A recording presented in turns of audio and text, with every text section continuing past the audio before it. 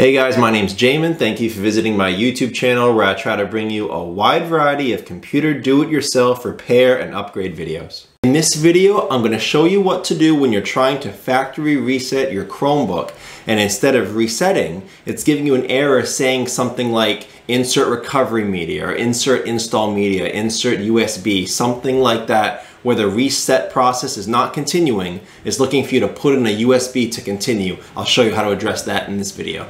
Before we get going guys, please remember to like the video if it does help you out. If you think anyone else can benefit, please share it with them. If you do need to leave me a question, check out the FAQs below in the description first. It could save you some time getting an answer as I do try to keep those updated. If you do need to leave me a question or comment, please feel free. I try to check those a couple times a day at least. For those of you that want to support the channel a little further, there's a couple different ways you can do so.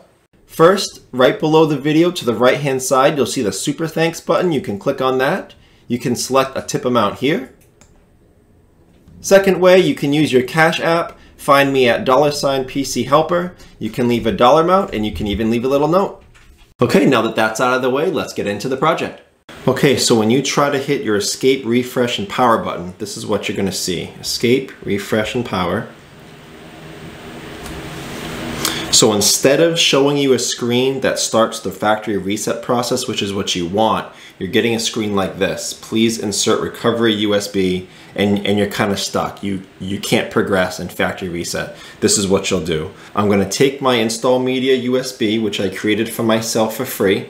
There'll be a video link above as well as below in the description showing you how you can create that USB for your specific model computer because it is model specific much of the time. I'm going to take this USB, I'm going to plug it into my USB port. It automatically sees it and it starts moving forward. This bar will start progressing, verifying integrity of your recovery media. That'll start progressing through. Just wait it out, leave your USB in, and also remember to have your computer plugged in. Um, if your battery runs out of power and this process stops, you'll have to start it all over again. So make sure your computer's plugged in.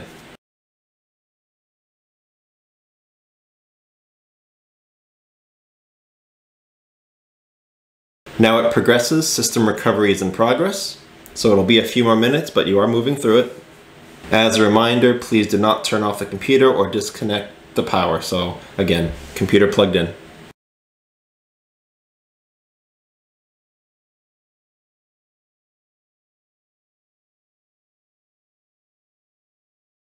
Now you get this, a green check mark.